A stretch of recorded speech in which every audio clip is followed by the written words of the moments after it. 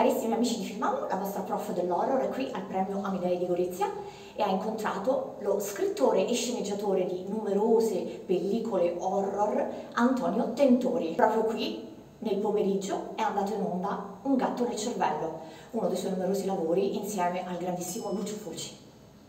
Antonio, eh, tu hai lavorato con grandissimi nomi del panorama del cinema horror italiano per quanto riguarda le tue sceneggiature, è sempre andato tutto liscio oppure c'è stata qualche interferenza qualche volta, qualcosa che ti ha un pochino infastidito?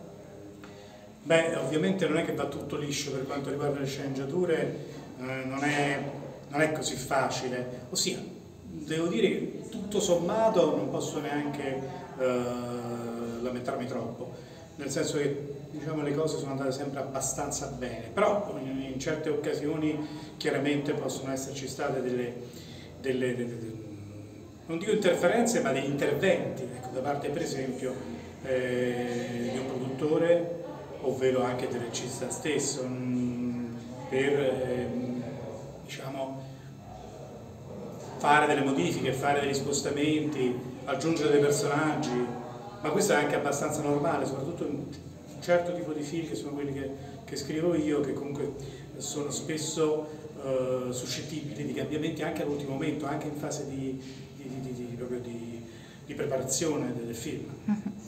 Mentre invece c'è una sceneggiatura che ti è piaciuta veramente tanto scrivere e che il film in, in, qualche modo gli ha reso una giustizia veramente al 100%? Ma ce forse ce n'è anche più di una. Bene. Uh, nel senso che comunque nel tempo sono riuscito a scrivere per vari registi, come dicevi tu, eh, ma per esempio uh, ho scritto un film che si chiama Frankenstein 2000 per Gioia D'Amato, Liste di Massaccesi, ecco quello è piuttosto uh, fedele diciamo, eh, alla, a quello che avevo scritto, al testo e anche Dracula è un, di Dario Argento è un film che, che molto mio, rimane molto nel, nel, mio cuore proprio. E anche Un gatto al cervello di Fulci, eh, The Jail di Bruno Mattei, insomma ce ne sono diversi, non ce n'è uno solo, sono diversi di film che, che credo che siano stati fatti eh, piuttosto bene, Rabbia Furiosa di Sergio Stivaletti anche. Sì, no, non ce n'è uno solo, ce ne sono diversi perché per fortuna ecco, questi titoli che ho detto eh, i registi a, con la loro sensibilità sono riusciti appunto a, a trasmettere quello che, io, quello che io, quello che noi anche insieme naturalmente avevamo pensato, avevamo eh, appunto ideato per poi venisse appunto. Quando c'è un bel team. Sì, esatto. Mentre invece passando ai libri, tu hai scritto anche numerosi titoli, ce n'è uno a cui ti senti maggiormente legato? Ma io ho scritto molti libri di cinema, eh, su, soprattutto sul cinema italiano di genere, mm, dal thriller all'horror, alla fantascienza, fantastico diciamo, western, poliziesco e così via. Però se penso ai libri, io penso adesso soprattutto penso ai, um, ai romanzi, eh, perché questi ultimi anni ho scritto diversi romanzi e soprattutto il primo, Il bambino che giocava con le bambole, con, tra l'altro ha una prefazione bellissima di Lamberto Bava, ecco quello è un romanzo thriller ambientato a Venezia, questo è quello che, che sicuramente prediligo attualmente. Hai qualche consiglio da dare ai ragazzi che vogliono iniziare ad avventurarsi nella sceneggiatura, nella scrittura?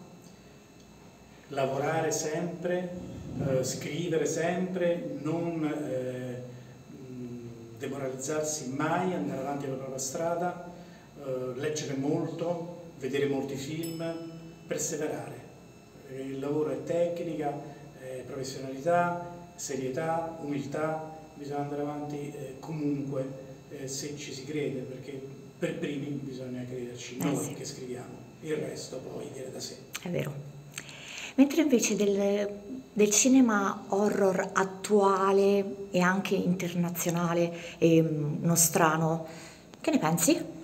Ma io ritengo che l'horror sia in buona salute, cioè, sono molti film che escono, americani, ma anche francesi, europei, insomma, eh, italiani un po' meno, però anche gli italiani stanno, stanno, stanno facendo um, abbastanza un buon numero di film tra indipendenti e non.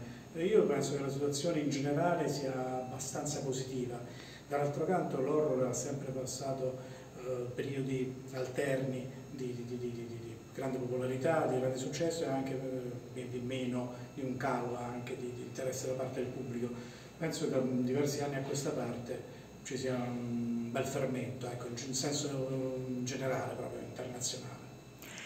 E tornando al cinema italiano, dopo la pandemia diciamo che ha subito una battuta d'arresto.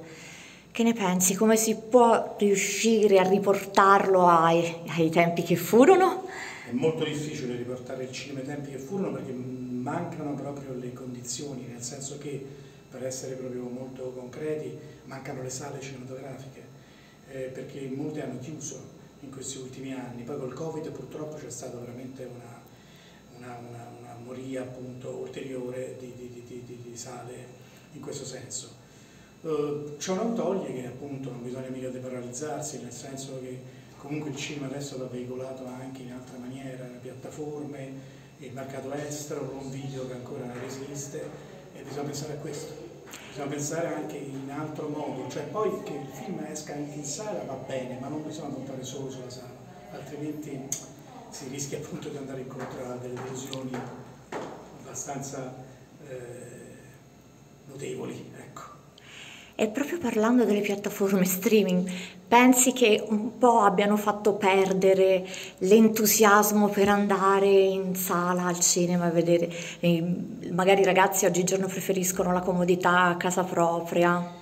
Questo che dice è molto vero purtroppo, nel senso comunque poi subentra la pigrizia, è subentrata la pigrizia soprattutto dal periodo del Covid in poi, cioè le persone per smuoversi insomma di casa, sì lo fanno anche, per magari soltanto per dei blockbuster ehm, o per le, con qualche commedia forse, e, insomma le sale ehm, sono, si vedo, purtroppo ci vado spesso al cinema, eh, tranne qualche, qualche, volta, qualche magari fine settimana o così, sono abbastanza eh, deserte.